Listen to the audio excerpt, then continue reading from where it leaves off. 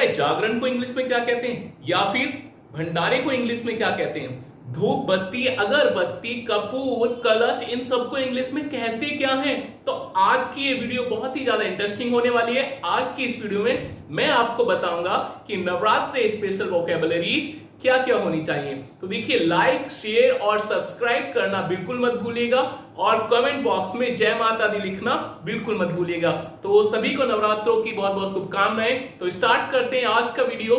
देखिए, सबसे पहले हम बात करेंगे धूप बत्ती की। तो धूप बत्ती को इंग्लिश में क्या बोलते हैं?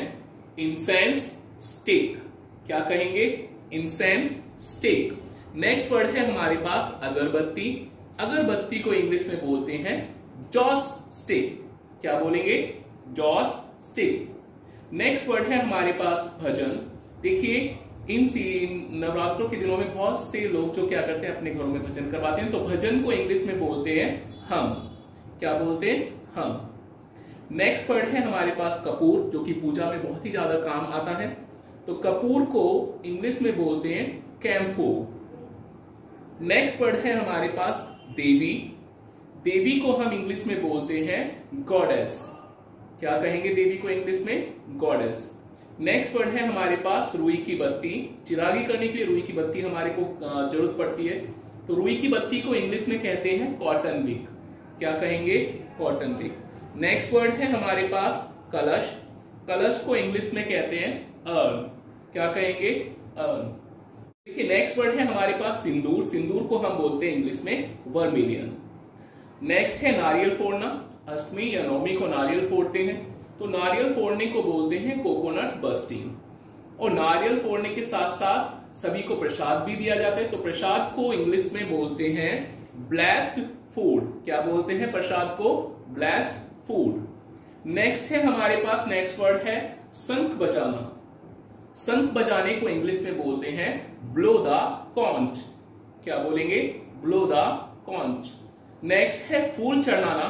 तो फूल चढ़ाने के लिए हम बोलते हैं offer flower offer flower next word है हमारे पास पूजा करना. पूजा करने के लिए इंग्लिश वर्ड सभी को पता होना चाहिए. पता होगा भी.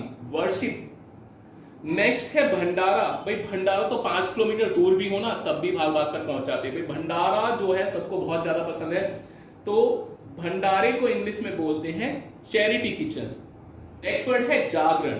जागरण को इंग्लिश में बोलते हैं अवेकिंग नाइट नेक्स्ट है हमारे पास डांडिया। डांडिया को बोलते हैं प्लेस्टिक नेक्स्ट है व्रत। तो देखिए, व्रत को इंग्लिश में बोलते हैं फास्ट नेक्स्ट नवरात्रों के इस सीज़न में गरबा देखने को भी बहुत ज़्यादा मिलता है। तो गरबा को हम बोलते हैं फोक डांस। इन सभी वर्ड्स को आप अपनी डे टू डे लाइफ में यूज़ कर सकते हैं। आई होप ये वीडियो आपको अच्छी लगी होगी। अगर अच्छी लगी तो जल्दी से शेयर कर दीजिए। अगर आप चैनल पर न्यू हैं तो चैनल को सब्सक्राइब कर दीजिएगा। और वीडियो को लाइक करना बिल्कुल मत भूलिएगा। जय माता दी।